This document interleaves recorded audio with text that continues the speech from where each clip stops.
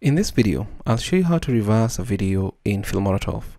Welcome to this video, my name is David and I hope you're well wherever you are around the world. Now, this video plays like that and I'll just play it. The fellow is moving in this direction. Let's say you want the fellow to seem like he's moving backwards.